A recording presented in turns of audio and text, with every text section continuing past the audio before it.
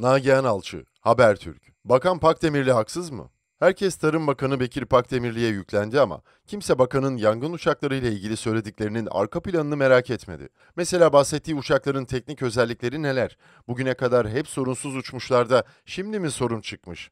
Ya da baktım mevcutta kullanılan helikopterleri küçümseyen yazılar kaleme alınıyor. Hakikaten helikopterin kapasitesi yetersiz mi? Tamam, bakanın Türk Hava Kurumu'nun muhalefetin maşası olduğunu söylemesi konuyu otomatik olarak siyasileştirip bağlamından koparıyor ve bence yanlış. Ama ya biz köşe yazarı milleti neden hemen mevzileniyoruz? Ben Pakdemirli'nin çıkışına kadar ilgi alanıma girmeyen yangın söndürme uçağı meselesini ilk kez bu vesileyle merak ettim. Bakan ben aradığımda Slovenya uçağında olduğu için kendisiyle konuşamadım ama Tarım Bakanlığı ve Orman Genel Müdürlüğü'nün en yetkili isimlerine ulaşıp birçok önemli ve meseleyi açıklığa kavuşturur mahiyette bilgi aldım. Size Türk Hava Kurumu'ndan yangın uçağı kiralama kronolojisi ve teknik detaylarını anlatayım. Bakanlık geçen yıl uyarmış. 2008 yılına kadar yangın söndürme uçakları diye Türk Hava Kuvvetleri'nin elindeki bazı uçaklar içlerine tanker konup modifiye edilerek kullanılıyormuş. Ancak sorunlar çıkıyormuş.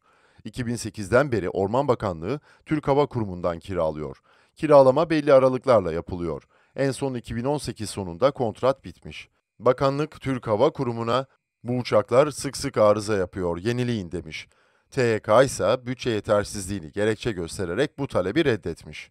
Mevzu bahis 5 uçak olduğu yazıldı. Bunlardan biri zaten out of order, yani çalışmıyor.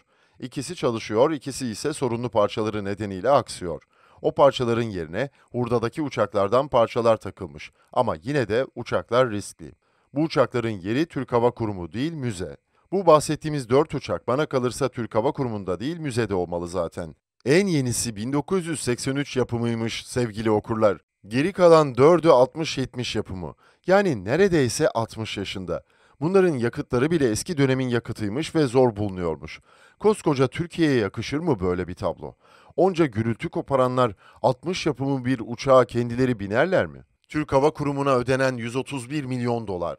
Üstelik bu büyük anne büyük baba yaşına yaklaşan uçaklar için Orman Bakanlığı 2008'den beri Türk Hava Kurumu'na kaç lira ödeme yapmış biliyor musunuz? Tam 131 milyon dolar. Konuştuğum yetkililere neden yurt dışından uçak kiralamıyorsunuz diye sordum.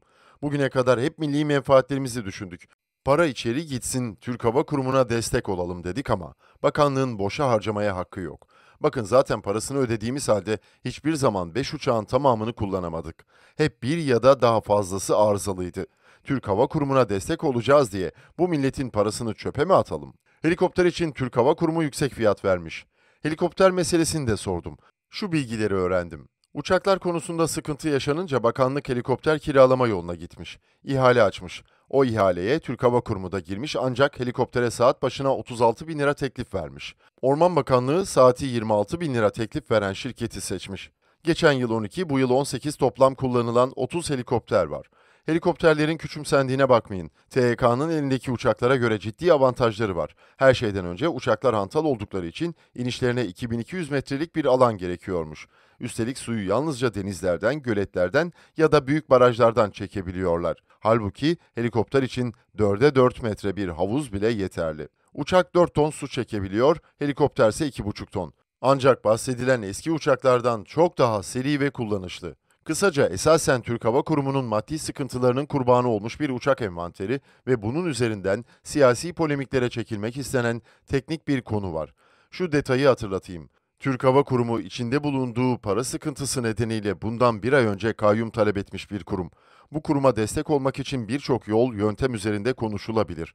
Ancak Türkiye Cumhuriyeti Tarım ve Orman Bakanlığı'nı sırf bu kurum yaşasın diye uçan hayaletlere mahkum etmek, hem o uçakların pilotlarına büyük haksızlık, hem de bu ülkeye hiç yakışmayan bir tablo. Çok şükür mühürlendi. Peki ucube projenin akıbeti ne olacak? Bodrum'da çok sayıda zevksiz ve berbat sözde yazlık ev projesi görmüşümdür. Ama enfes bir koyu bu kadar katledilini hiç görmemiştim. Maalesef bu katliam size daha önce yazılarımda bahsettiğim çocukluğumuzun yazlarının geçtiği küçük bir koyunun Çetirge burnunda yapılıyordu üstelik. Du diyorum zira Cumhurbaşkanı Erdoğan'ın bölgedeki havadan denetimi sırasında rezaleti görüp talimat vermesi ve Çevre ve Şehircilik Bakanı Mehmet Kurum'un müdahale etmesiyle neyse ki inşaat durduruldu. Tahmin ettiğiniz gibi adına Boviera denen ucube projeden bahsediyorum. Tam da benim bu yapıyı çıplak gözlerle görüp şok olduğum günlerde Bodrum halkı da bu korkunç beton yığını karşısında ayaklandı. Zaten öncesinde de bir kar topu gibi adım adım büyüyen tepkiler varmış bölge kamuoyunda.